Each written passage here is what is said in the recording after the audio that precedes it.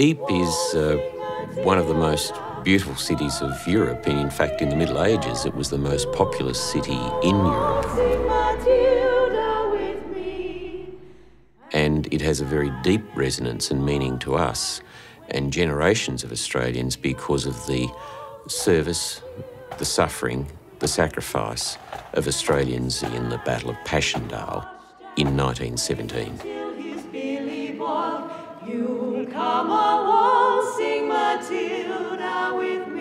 The last reminder of civilised existence that they had in this moonscape and mayhem of Passchendaele were those two lines. Waltzing Matilda, waltzing Matilda,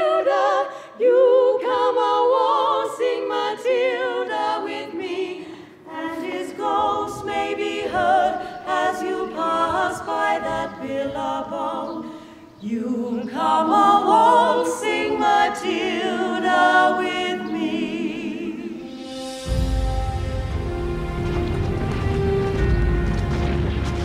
It's been 100 years since our greatest loss. Standing here, it is hard to believe that some 38,000 Australians were either injured or killed uh, in this vicinity. It's some of them are 15, 16 year old boys, essentially, and they've come across to fight a war. To mark the centenary of those losses, a very special ceremony for the return of the Menin Gate Lions, on loan from Australia to their original home.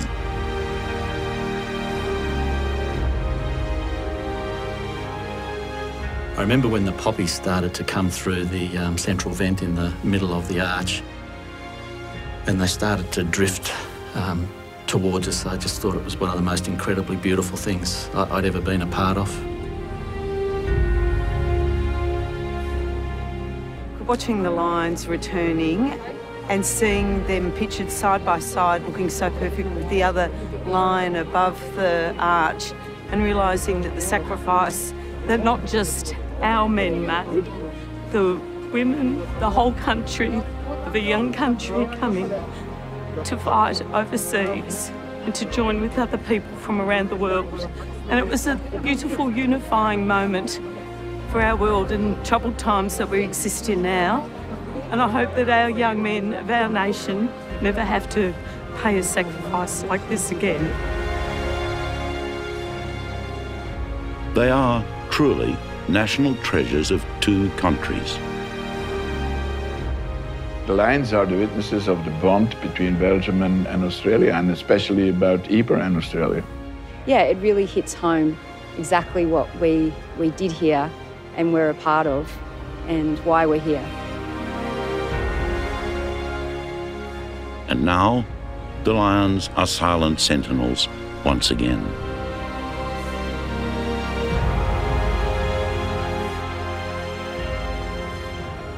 The Menin Gate lines are a thread which connects us, our inconsolable grief and mourning about the loss of Australians that had marched between the Menin Gate lines down the Menin Road to the battles of Passchendaele. That says so much about us as we were then and who we are now.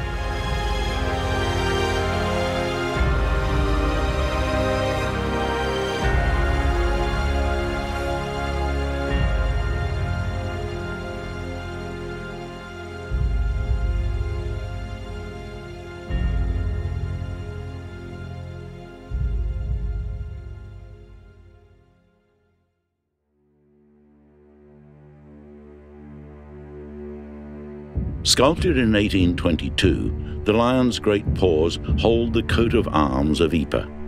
Originally at the entrance to the cloth hall, they were moved in 1862 to sit astride what's known as the Menin Gate, a gap in Ypres' ancient ramparts on a bridge over the city's moat.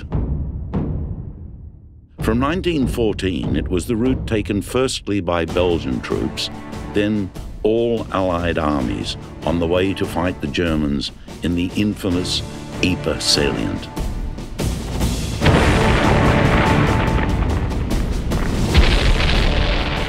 Ypres itself was a daily target, laid waste by thousands of shells. When the diggers marched past Cloth Hall in 1917, down the Menin Road to the Menin Gate, the city was a shocking shell of itself.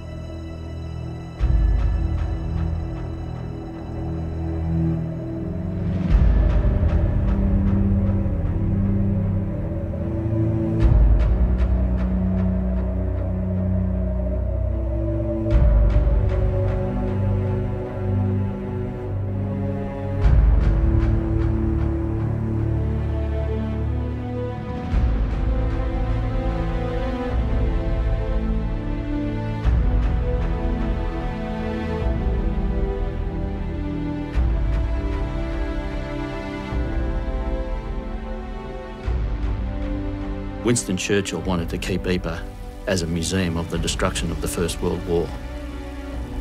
The Belgian people were determined that it would not be, that it would not be a symbol of defeat, that it would be a symbol of victory, and they rebuilt it.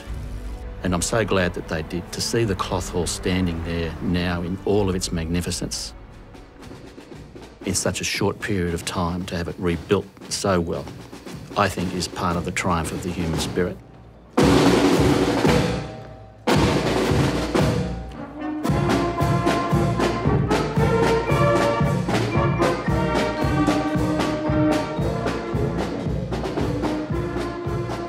Is very special for me to come here still.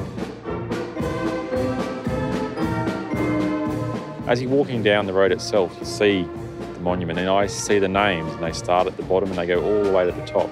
The amount of names uh, on the walls there, some 50,000 soldiers that have, have, never been found and discovered somewhere buried around here. So it is a, an extremely sort of powerful image, um, and I feel feel quite sad really when I when I see it.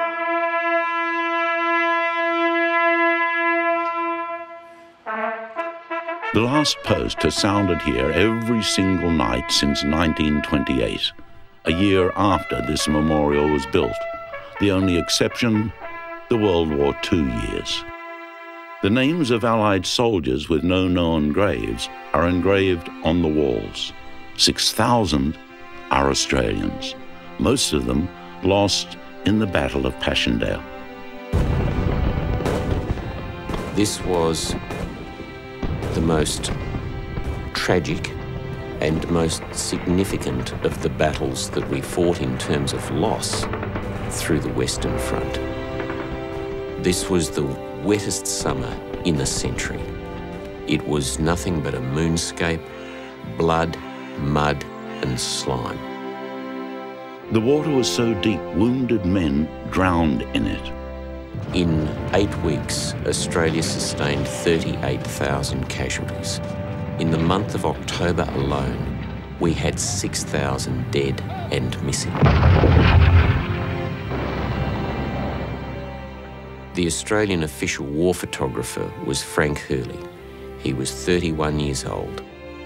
He was the one who captured the most powerful and iconic images of the Battle of Passchendaele and he said every 20 paces was a dead body, most severely mutilated, many without heads and limbs, all half covered or almost submerged in slime and mud.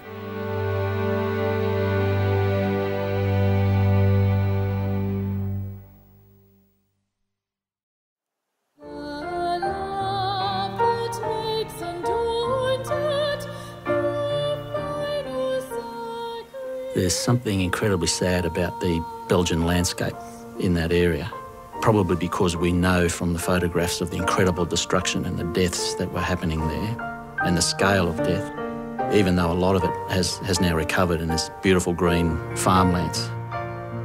You're never too far away from a cemetery.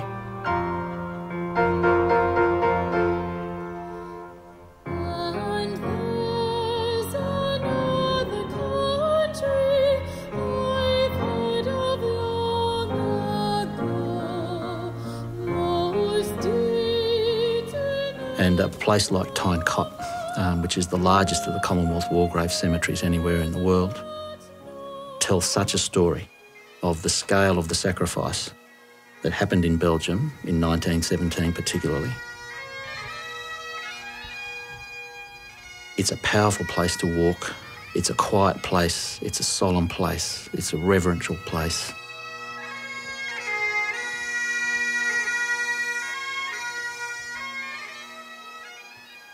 I think the scale of Tyne Cot doesn't hit you until you fully get into the actual graves itself and you start walking around the graves. And one of the things I always do notice is the age on those gravestones. It's truly remarkable some of the ages that these young men lost their lives at. So when you stand there and look at the scale of it, it just it really it completely blew me away how how big that area is and how many gravestones are there.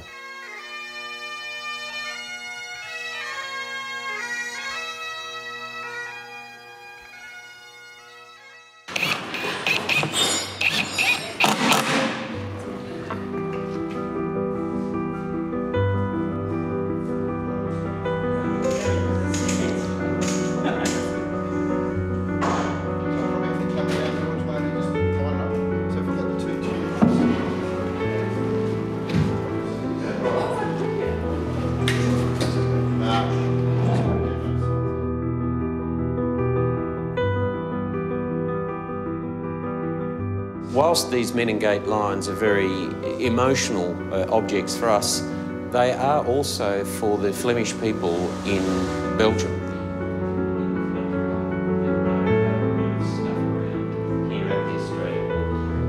So we have curators and people that have conserved, protect, Brendan Nelson was the man who came up with the idea of loaning the lions back to Belgium for the Passchendaele centenary. That was back in 2011 when Dr. Nelson was Australia's ambassador to Belgium.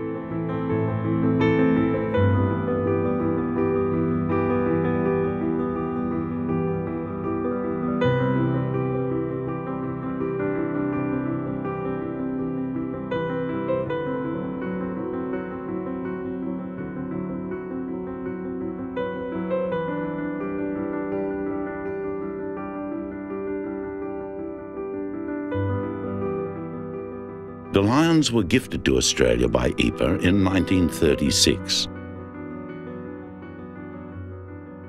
Damaged by shell fire, they had lain in the rubble of Ypres after the war.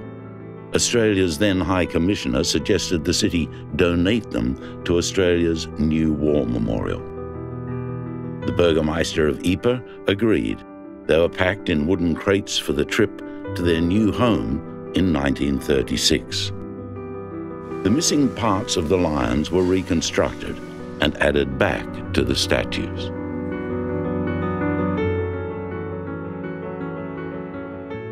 The lions weigh nearly two tons each. Removing them from the memorial is a precise and skilled exercise.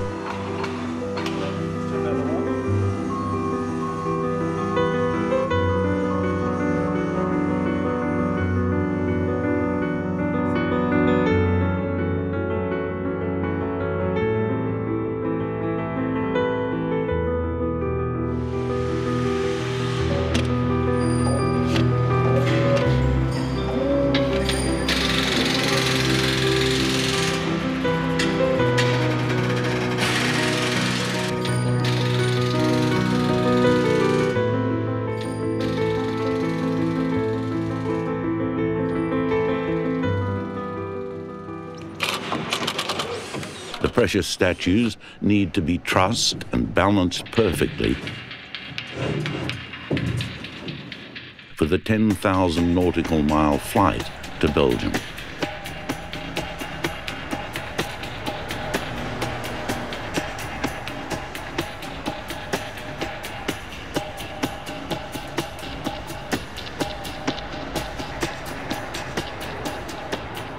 gives you an immense sense of pride to see one of our C-17s with the emblem of our Royal Australian Air Force having those lines go into its belly.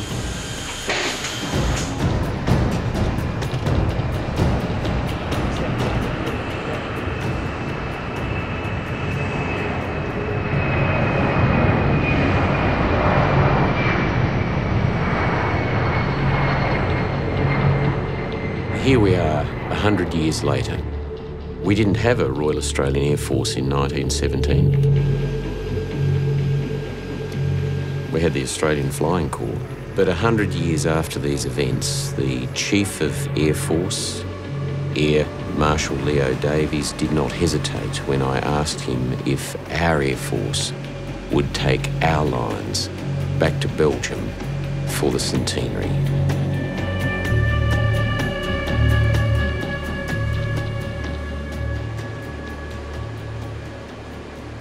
It's a four-day hop to Belgium via Darwin, Diego Garcia, and Dubai.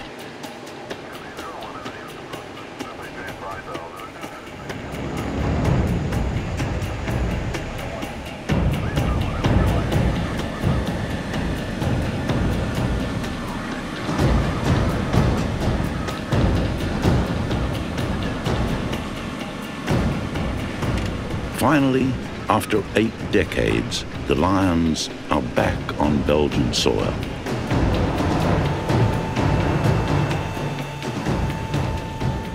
And then in Brussels, to have them come out of the aircraft and be welcomed with such dignity and pride by the Belgian Defence Force, and of course supported by us as well, that makes it all worthwhile.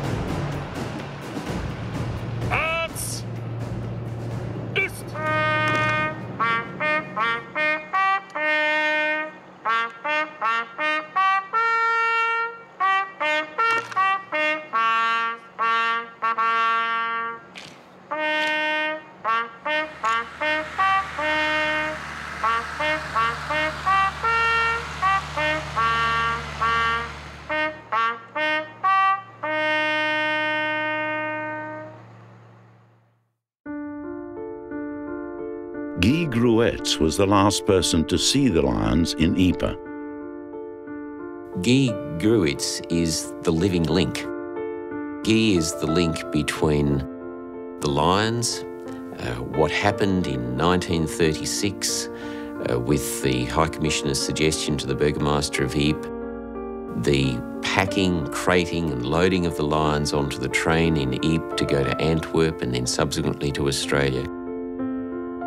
Guy's had a lifelong association with the Menin Gate. For 40 years, he was chairman of the Last Post Association. To think that he's able to get up in the morning and open his window there in that apartment next to the cloth hall and look down the Menin Road toward the Menin Gate, to think that he has spent all of his life in that community, not only living in that community, but being the living link between the horrendous cataclysm that occurred there in the 1914, the families and those who survived, and then the world into which he was then born. I always remember Guy telling me at the age of eight, standing there holding his grandfather's hand, looking at the crates, AWM Canberra stamped onto the side of them, that I was at the hand of my grandfather. They were putting that, the lions on the wagon, and I, as a young boy, I, I was witnessing that, very interested. And now, of course, 70 years later, um, uh, more, 80 years later, 82 years later, I will be absolutely uh, thrilled and happy to see them back for a while, of course.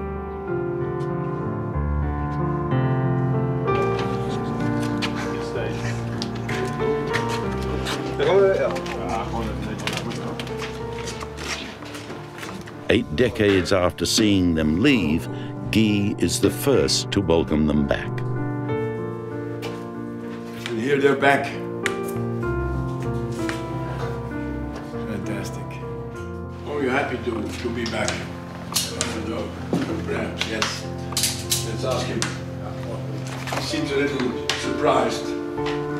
Never, never thought it would be given to see them again. Thanks to Brendan Nelson. Fantastic. Fantastic idea for a fantastic man. And now to the gate.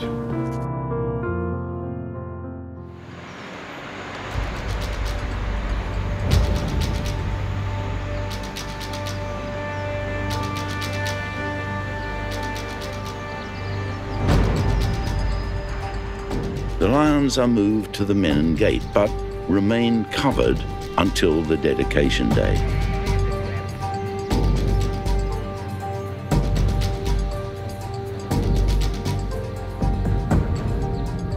Where is the link Lengterlin? Yeah, that is the Lengterlin. The left one is there. And where had the Lengterlin been? There.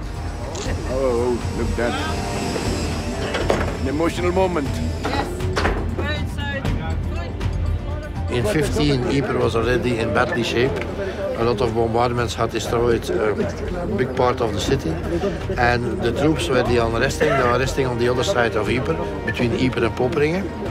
And when the troops were ordered to go to the battlefield, they passed through the ruins of Ypres. They passed here on this bridge, and they went to the battlefield. So therefore, is this place very symbolic? It was the, in fact, uh, the entrance to the battlefield.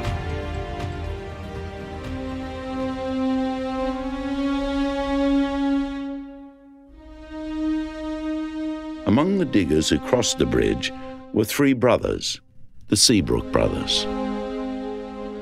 To reflect on that, the Seabrook brothers marched past those lines, and, and that sort of means a lot to, to us. Um, they would have touched them, they would have seen them, and we're going to do likewise tonight.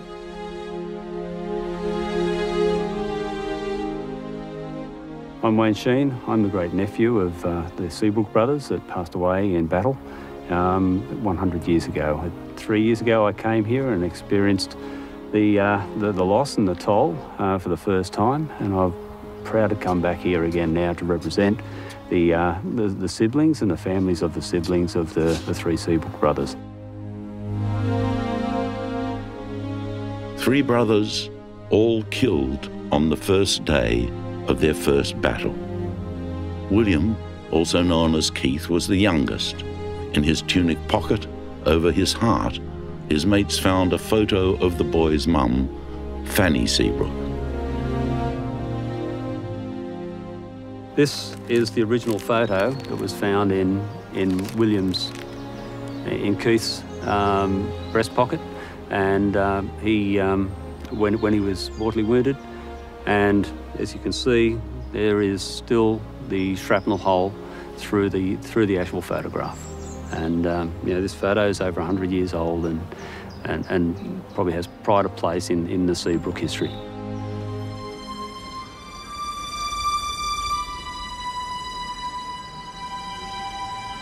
The bodies of the other brothers were never found, so Wayne is bringing his sister and brother to the Menin Gate to see the names of George and Theo Seabrook engraved on the wall. To see that tonight with, with Grant and with Julie is, is going to be a special occasion, and for them, it's going to be their first time. So they will feel the emotion that I felt three years ago, and it's going to be a significant time for me as well. Here's the names on the wall. It's amazing. It's amazing. To think that to think that their bodies are out in the in the countryside somewhere, and, Yeah. and here their names are on the wall, uh, along with 55,000 other names. It's um, very significant. Mm. And tonight we'll lay a wreath in their memory. Yep.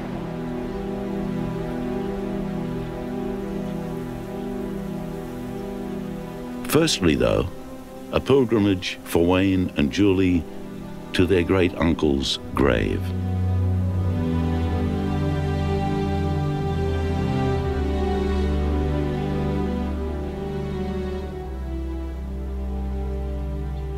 Twenty-three B. Okay. Okay. It's 23B. Oh. We've all belong here. We should be able to see William. His headstone should appear. Mm. When he's- Oh, there it is. It's um quite emotional. Would have been nice to have known them. hmm Why don't we get the medals out Okay. and put them there with the photo of Fanny? It's the original photo. Yeah. To lay a poppy that um, has been personally made by one of the Seabrook descendants, Christy Seabrook, um, was great to lay that and then to put William Keith's medals on the top and then to reunite the photo um, that was in his breast pocket when he, when he was mortally wounded, uh, to have all that together in one place on the other side of the world for the first time in 100 years is a significant time.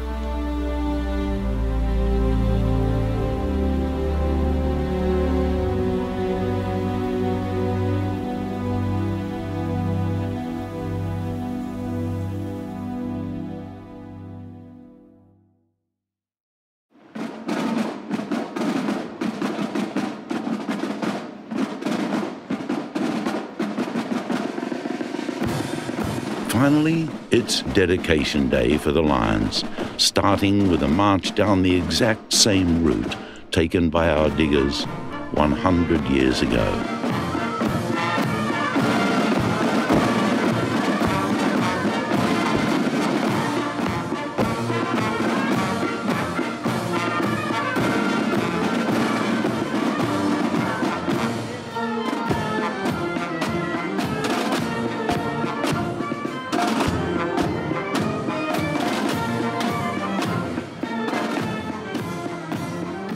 Wonderful feeling that comes from being in, walking in the footsteps of people who've done great and mighty things.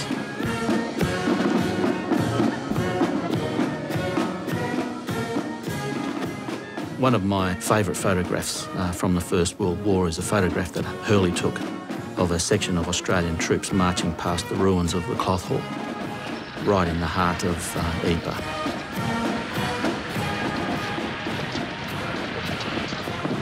Able to be a part of the ceremony on that day, to retrace their steps, to see the Australian flag carried by the Fed Guard with the Belgian flag alongside, to see those two flags together on that night uh, was just wonderful. In some way, it was um, a commemoration, a remembrance in its own right of all of those people who'd done that previously.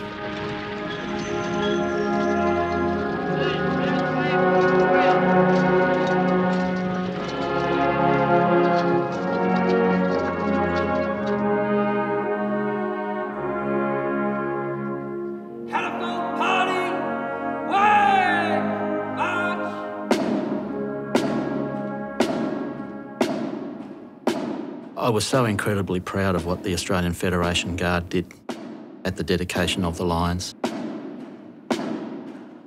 To see the slouch hats, Australian Navy caps, the Air Force personnel, I felt like almost at home, certainly amongst friends. Yeah, I was just really proud to see what they had done.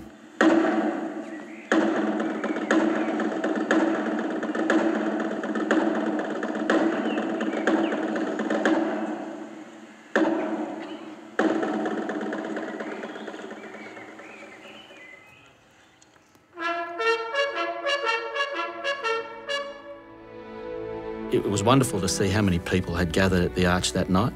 The ramparts were lined with people. All around the arch was packed. Everywhere you looked, there were people engaged and moved by what was happening there on that night.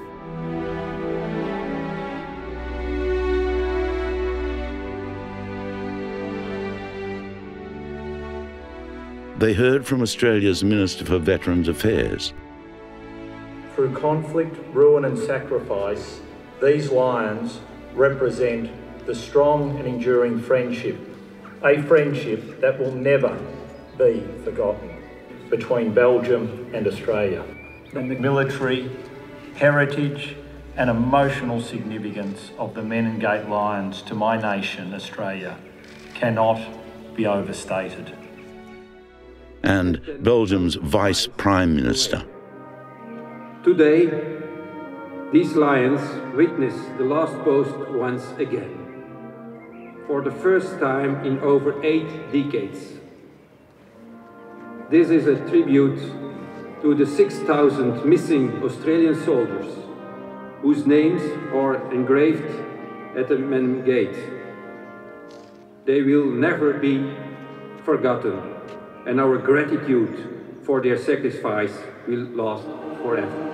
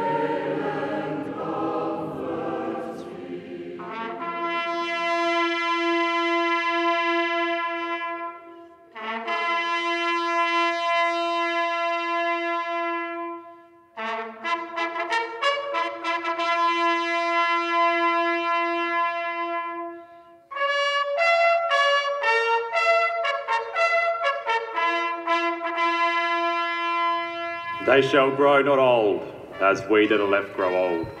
Age shall not weary them, nor the years condemn.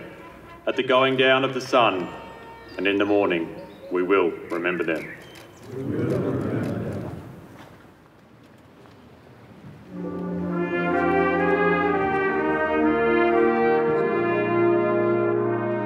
I remember when the poppies started to come through the um, central vent in the middle of the arch and they started to drift um, towards us. I just thought it was one of the most incredibly beautiful things I'd ever been a part of. The symbolism of the poppy, of course, is very well known.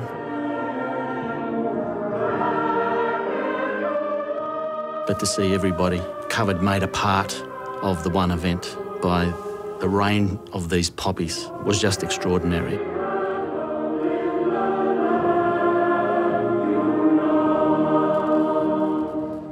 Think when those poppies fell from the arch, that everyone could join and remember and have imprinted on their minds for eternity, really.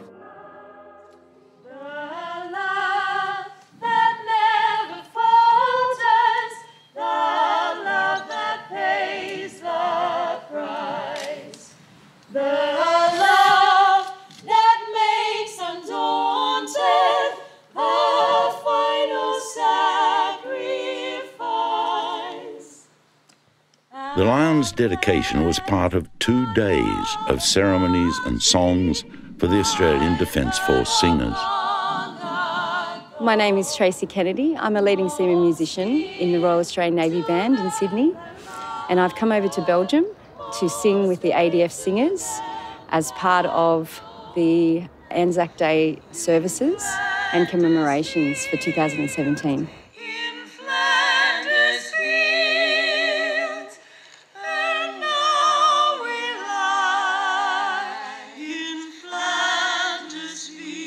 For the centenary events, Tracy learnt to sing the Belgian national anthem in Flemish.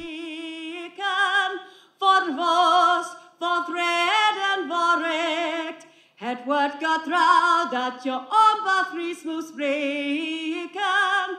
Voor was, voor vrede, voor recht. Singing it for the dawn service, it was just a really special feeling and quite eerie at the same time, I think, standing uh, on those fields and in the cemetery. And each time I've sung it, I feel certainly um, very proud to be able to learn it for the Belgian people and, and be a part of it. We ought to feel enormously proud of the Belgian people for what they have done and our relationship with them which is reinforced now 100 years later by the dedication of these lions. The return of the gift, the reciprocity of this gift back to Belgium, I think is hugely important for Australia and Belgium.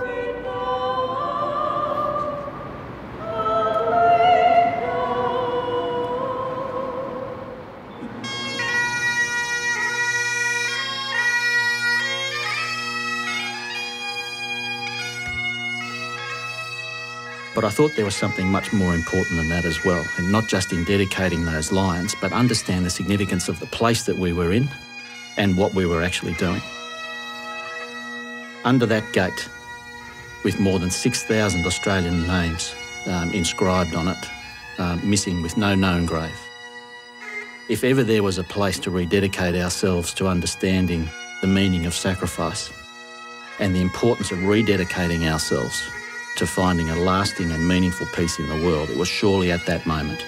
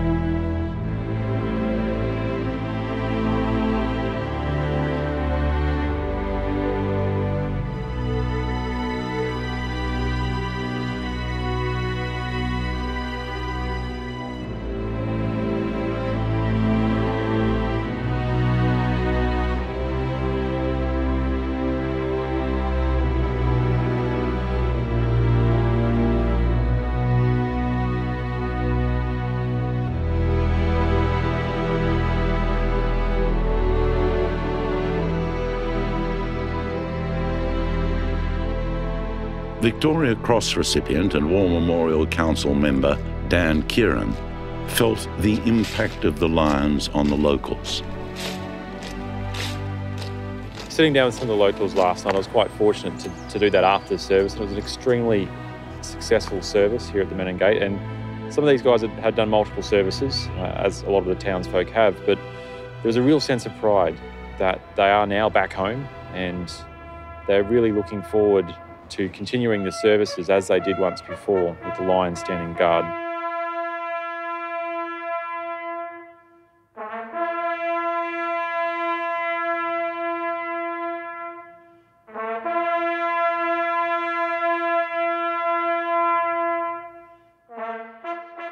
For Tracy Kennedy, it was the experience of a lifetime.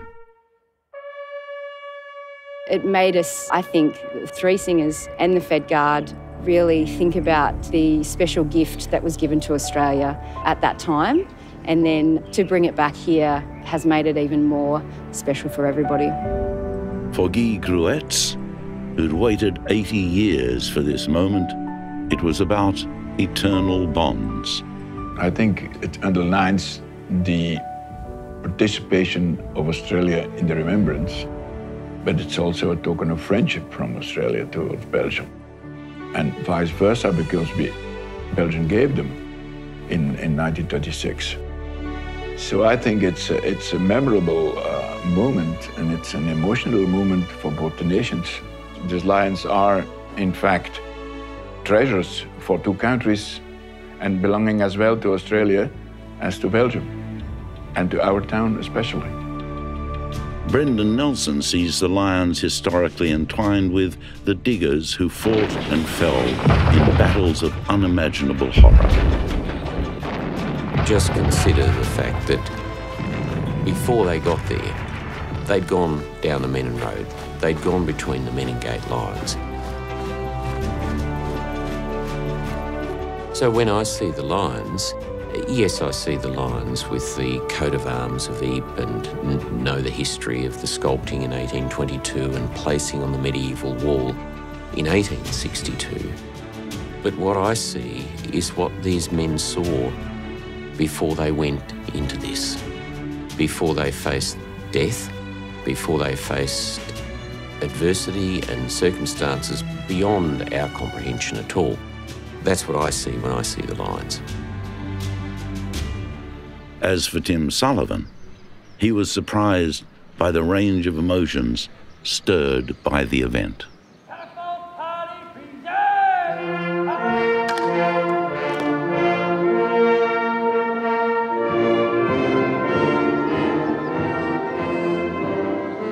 The fact that we were there dedicating these lines in memory of all of those who'd given their lives for a better world, we could reflect on the fact that our allies from that time are still our close friends, that we are reconciled with our enemies from that time, was incredibly poignant at the time that we were dedicating the lines. And then at the end of the day, to be able to look back on all that had been done across a very long day in remembering the sacrifice of so many Australian lives, particularly in 1917. I felt that I had a better understanding of what the Australian War Memorial is about, why it does what it does, and why it has to continue to do what it does, and why remembering is so important.